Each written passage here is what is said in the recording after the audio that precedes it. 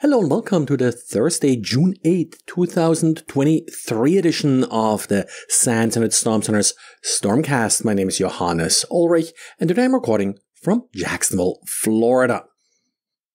Quick diary today from Manuel about the DMARC records in Colombian domain. So that's .co. Manuel, of course, uh, being from Colombia. And he compares here also how the government domains that gov.co and the university domains edu.co do and how they compare. Well, common wisdom would sort of assume that government domains are probably better about setting setting up DMARC records than educational or university domains.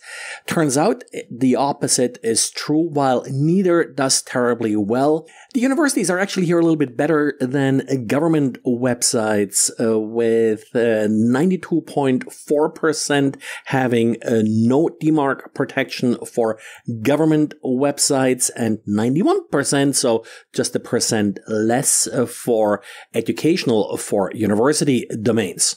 We do keep uh, getting questions about uh, DMARC, DKIM, SPF, and the like from readers, which is uh, why we do focus in some of these diaries on these numbers.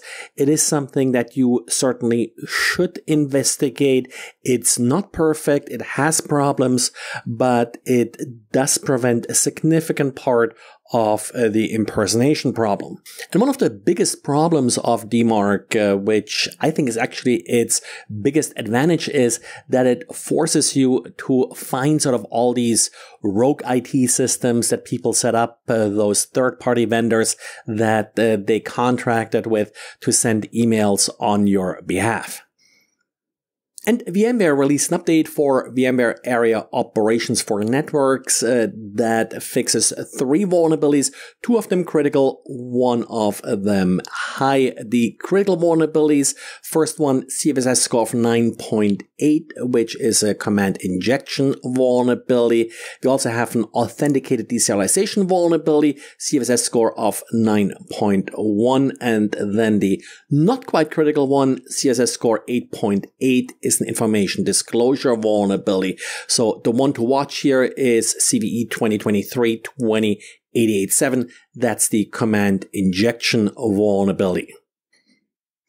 And yes, we got more Android malware to talk about. Uh, this is actually a malware but a spyware that uh, first has been sort of making the news in April. Dr.Web uh, found it back then.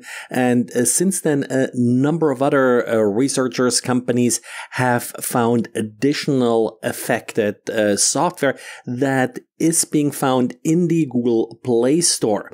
So far, there are about 200 uh, compromised apps in the Google Play Store, and they're being downloaded uh, as I record this. The total number of downloads, according to Dr.Web, is about 450 million by now. SpinOK is an SDK that uh, sort of implements simple games and uh, possibly winnings, kind of uh, distributed as a marketing uh, API uh, for your Android applications. That may be why uh, developers are including it.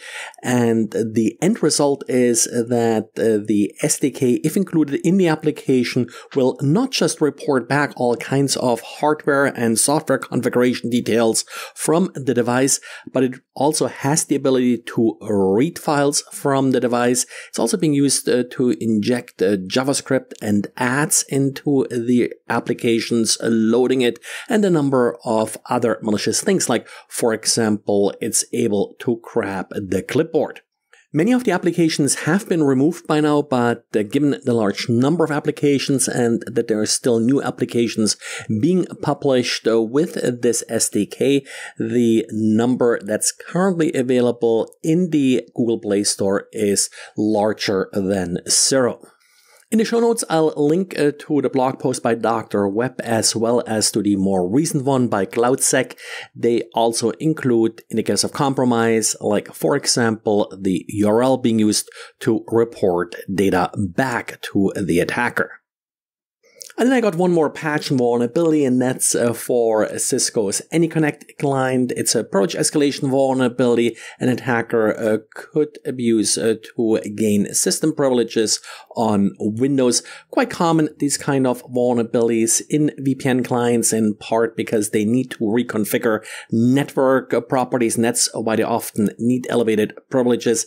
Cisco AnyConnect had a number of vulnerabilities in the past. Some of them were exploited. Well, that's it for today. Yesterday, I think I forgot uh, to add the link uh, to our webcast next week. So that's a repeat of the RSA panel. I hope I will remember to add um, the link uh, this time around. So hope to see you there. Otherwise, thanks for listening and talk to you again tomorrow. Bye.